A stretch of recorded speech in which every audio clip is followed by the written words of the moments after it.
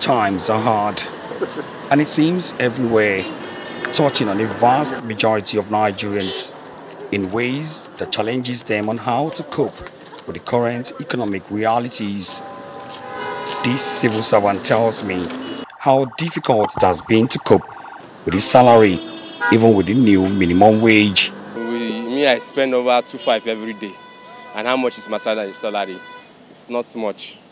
Before it's 1,000 every day. But because of this cost of living now, it's difficult. Everything is just skyrocketing. The inflation is high. Fuel subsidy removal, fuel price hike, and a couple of other tough economic decisions by government appear to have wiped out what would have been the gains of a 70,000 naira national minimum wage. To cope with the hard times, he now has to turn to a few side hustles.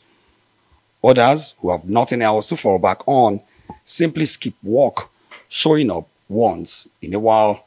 I had other jobs. I'm a civil servant, I had other jobs. So that's how I just cope. If not, it will be difficult for me. To, to survive on my salary, it will be difficult. Similar testimonies abound on the streets. Transportation fare within the capital Abuja has more than doubled leaving many commuters waiting hours for cheaper bus rides. Others resort to walking some distance to reduce the cost.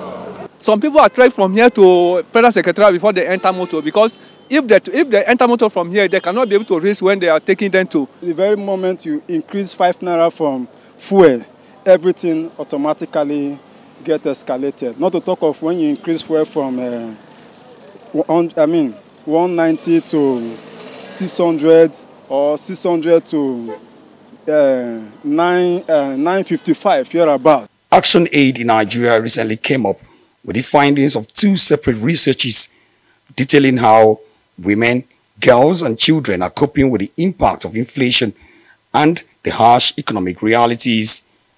What they found is mind-boggling.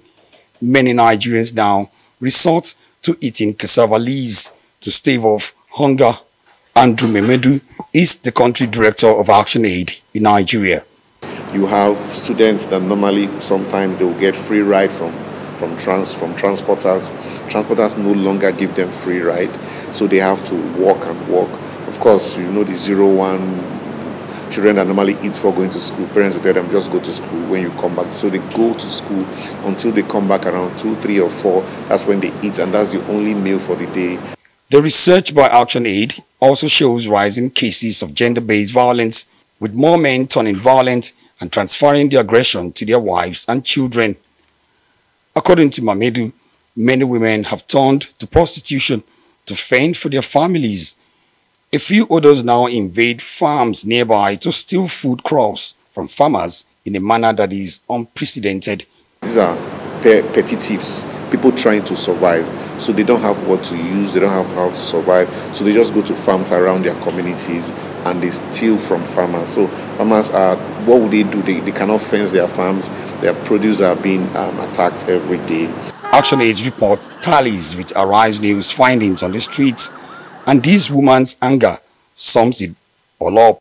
I saw a lady that just fainted now because of hunger.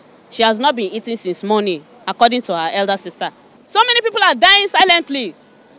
So please, I don't want to say more because I'm very angry, I'm very upset. Action Aid believes the consequences are multifaceted and already manifesting in civil servants cutting corners like never before.